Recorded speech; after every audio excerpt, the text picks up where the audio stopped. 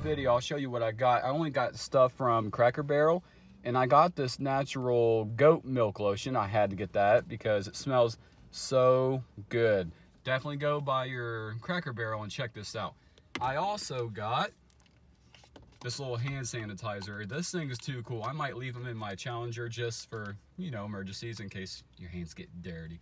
So that's all I picked up. So I'm about to go ahead, head on home. And before I do, I'll start it up for you. Oh, that sounds so beautiful. All right, well, I'll see you guys in the next video. I hope you guys enjoyed it, and I'll see you guys in the next one. Sorry, I got distracted by the radio. Check you later.